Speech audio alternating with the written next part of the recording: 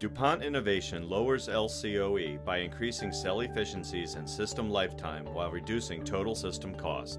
Materials matter.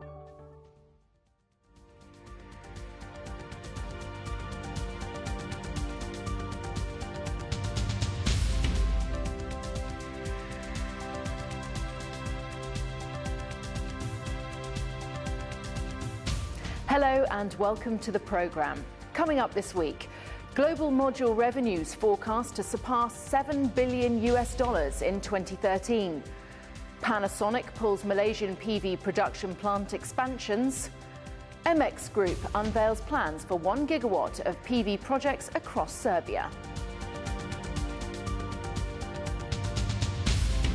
The PV module market should return to profitability in the third quarter of 2013, according to a new report from market researchers IHS iSuppli.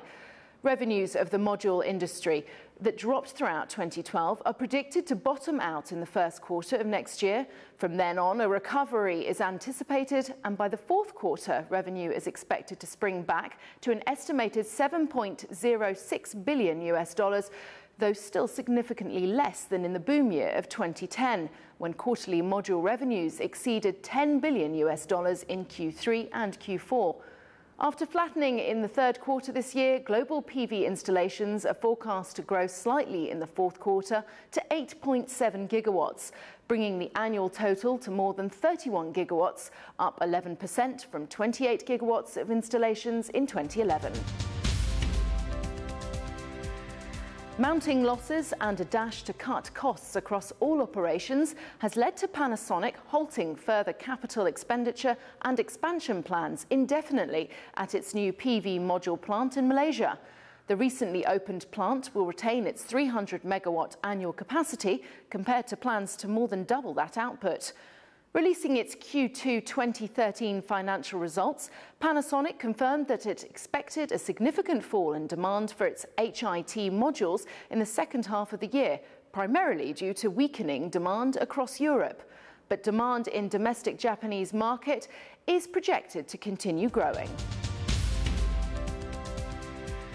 Having recently reported analysis from market research firm NPD SolarBuzz that the PV equipment market was experiencing an historic negative book-to-bill ratio, the first signs of the sector reacting to this condition are filtering through.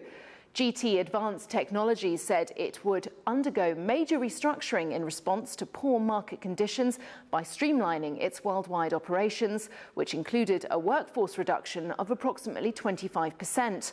The company said it would also consolidate existing business units into a single Crystal Growth Systems group, with various divisional heads now all reporting to its CEO, Tom Gutierrez. In related news, Singulus Technologies said that it would reduce its workforce at its solar division by 40% on the back of reporting preliminary third quarter sales of 43.3 million euros. But continued weak demand from PV manufacturers meant the company was projecting full year losses of between 54 and 56 million euros. Another PV equipment supplier, Amtech Systems, pre released preliminary full year results for 2012 on the back of expected heavy losses and equipment final acceptance delays. Amtech said that it expected to report revenue of 81.5 million US dollars for the full year, down from record revenue of 247 million US dollars in 2011. Further cost measures have been implemented. Moving downstream, but staying with quarterly financial results, PV inverter manufacturer Power-One has seen its global market share go from 11% at the end of 2011 to 13% so far this year, according to market research firm IHS. The share growth comes on the back of the company reporting net sales of 284 million US dollars for the third quarter, with its renewable energy solutions segment contributing 216 million US dollars in revenue. The company said that for the first nine months of 2012, it had shipped 2.9 gigawatts, an increase of 42% over the same period last year. Utility scale PV inverter specialist Advanced Energy Industries also reported quarterly results this week, which included record sales of 60.7 million US dollars, fueled by growing demand from the North American large scale commercial and utility markets. Solar energy sales were 20% above the previous quarter. Remaining in the downstream market, Phoenix Solar has amended its revenue expectations for 2012, with revenue expected to drop to between 150 and 170 million euros, well below previous projections of as much as 240 million euros. Challenging market conditions within Europe were said to be behind the lowered forecast. And finally, the Serbian government and Luxembourg based investor Securum Equity Partners have signed a binding framework agreement for a 1 gigawatt PV power plant.